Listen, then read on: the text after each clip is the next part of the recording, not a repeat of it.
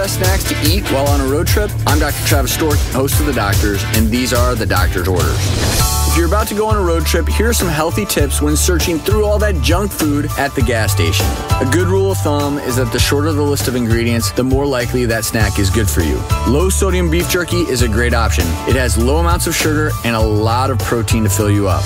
Another great option low sodium mixed nuts. Those are packed with good fats as well as a lot of satiating proteins. So the next time you stop at a gas station for a snack, double check the ingredients, be smart and healthy on the road.